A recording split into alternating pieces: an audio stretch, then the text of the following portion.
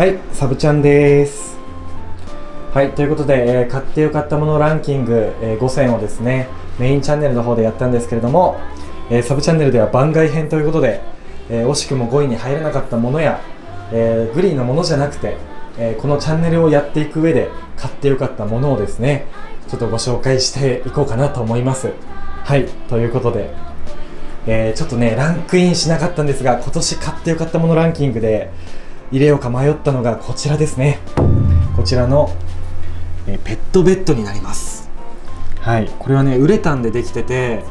これすごく良かったんですよ。商品すごく良かったんですけども、ランクインした5個のものよりは、えーちょっとね、あの、甲乙つけがたいというか、あの特に何も言えなかったんですよ僕のベッドだったらねこれが良かったって言えるしあとなんかグリーンに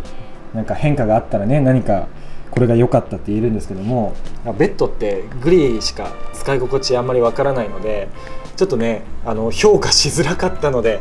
えー5位のランクから漏れてしまいました。がめちゃめちゃ良かったです。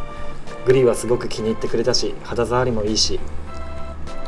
洗えるし、うん、これはめちゃめちゃ良かったです。はい。ごめんねこいつ入れてあげられなくてごめんね。これ本当にでも良かったですかって。はい。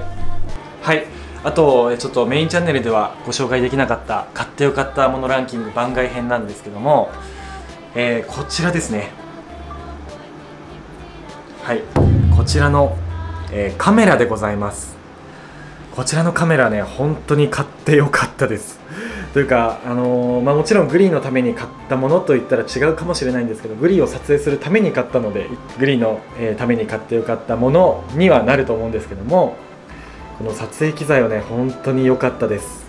でレンズも今年は購入したのでこのね広角レンズにしたことで、え広い絵が撮れるようになって、えーいろんな撮影バリエーションが増えたのでこれは本当に良かったと思います。でこのマイクもですね、えー買ってすごく良かったです。このロードのビデオマイクロってやつなんですけどもこれもねクリアな音声が取れるようになったのでこれも今年買ってよかったものでございます。はい。あとはですね、まあ、グリーンのために買ってよかったっていうと違うかもしれないんですけども、えーこちらです。ダイソンでございます。V10 ですね。これはですねほんと最近買ったものなんですけども今までマキタっていうですね掃除機のメーカーを使っていたんですけれども、えーマキタも結構吸引力があって軽くてすごくいい掃除機だったんですがやっぱりダイソンクオリティすごかったです。本当にダイソンを買ってから大掃除すごいはかどったし今まで取れてなかったすごく小さいホコリとかねあとは毛とかもすごく取れるんですよ。なのでこれは本当に買ってよかったものでございます今年。はい。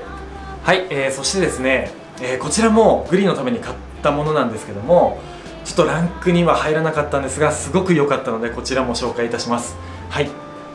えー、先週タオルですね。これも視聴者さんから教えていただいて、えーワンちゃんをシャンプーした時に拭き上げるのにすごく吸水力があっていいですよって教えていただいたタオルでございます。本当にねあの視聴者さんの言ってる通りめちゃめちゃ吸水力高くて、えーグリーンの体をですね優しくしっかりと拭き上げることができるようになったのでこれはめちゃめちゃシャンプーする時に時短アイテムになりました。のでこれもですね本当に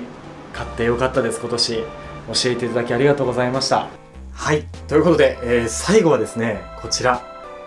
ゲーミングチェアでございます。ということで、えーこちらのゲーミングチェア。僕ねあのすごく腰痛持ちで、えースポーツヘルニアなんですけれどもそれでちょっとね腰痛がひどくてでちょっといい椅子を探してましてで編集は結構7時間とかね5時間とか結構長い間ここに座ってることが多いので、えーこちらのゲーミングチェアはねすごく買ってよかったです。腰が痛いのもちょっと楽になったしリクライニング機能もですねかなり優秀でこう直角の90度とかあとは思いっきりこんな感じでリクライニングしてこうちょっと休んだりもできるのではっ危ない危ない危ない危ない危ない危ない危ない。はいこんな感じでめちゃめちゃリクライニングもできてちょっと休憩とか仮眠も取れるのですごくね良かったです。ただこれリクライニング戻すとねこんな感じでえげつないぐらいの速さで帰ってくるんですよ。これだけ毎回ちょっとヒヤヒヤしながらねちょっとずつこうやってやってますけど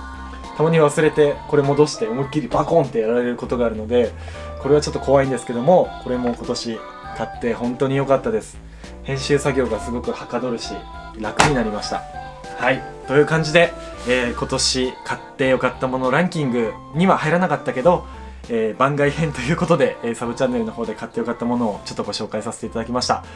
ということで大体がですね、えーグリを撮影するにあたったり、まあ、あの編集をする時に良かったりみたいなことにはなるんですけれども、えー今年は本当にいいお買い物ができましたはい、ということで、サブチャンネルはですね、この動画が多分最後の動画になると思うんですけれども、えーまたサブチャン見ていただいている方は、また来年もたくさん動画上げていきますので、どうぞよろしくお願いいたします。良いお年を。バイバイ。